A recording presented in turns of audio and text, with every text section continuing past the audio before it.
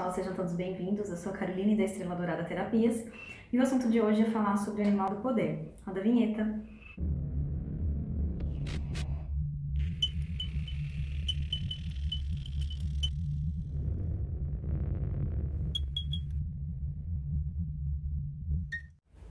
Bom, vamos lá.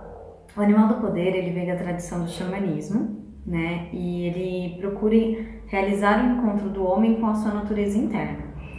Dentro do xamanismo, é importante que você conheça o seu animal do poder. É tão importante, na verdade, para eles, que é feito como se fosse um, considerado uma das iniciações principais de todos os rituais que eles fazem. Então, o animal do poder ele é um guardião, ele é um protetor e ele auxilia a entender a nossa missão no nosso, e o nosso jeito de ser. Então, você pensando sobre o seu animal do poder, você consegue saber quais são os seus defeitos, quais são suas qualidades, o que, que você precisa melhorar e como é o seu jeito de ser internamente. A gente deve lembrar que é de grande importância conhecê-lo, né? Porque ele auxilia em todos os nossos processos, como cura, como proteção, autoconhecimento e também como poder pessoal. Para que você consiga trabalhar com seu animal do poder, a primeira primeiro trejeito, primeira intenção que você tem sempre é ter respeito por ele. Ele é um animal que ele veio fazer uma parceria com você e ele visa orientar o crescimento pessoal e espiritual. Por isso que é tão importante que você tenha respeito por ele. Quando você conhece o animal do poder, o que, que você pode fazer? Você pode quebrar crenças limitantes, por exemplo, é, que você não dependa de ninguém para resolver determinado assunto. Você pode ter a cura de dores e emoções, principalmente quando elas estão ligadas a conceitos internos, a sentimentos guardados, a mágoas e tristezas. Você pode estar trabalhando junto com o seu animal do poder para encontrar a cura. Você pode ter, lógico, proteção para você, para sua casa, para sua família, para as pessoas que estão próximas. Ele pode te auxiliar nesse processo de proteção. E uma dica que eu posso passar para vocês, para vocês poderem identificar, além de, claro, fazer a vivência, nós deixamos uma vivência no nosso canal.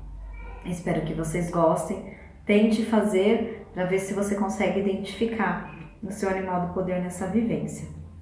Então, uma outra forma é você se perguntar sobre a sua vida. Então, as perguntas seriam: qual é o animal com quem você mais tem simpatia desde que você é criança?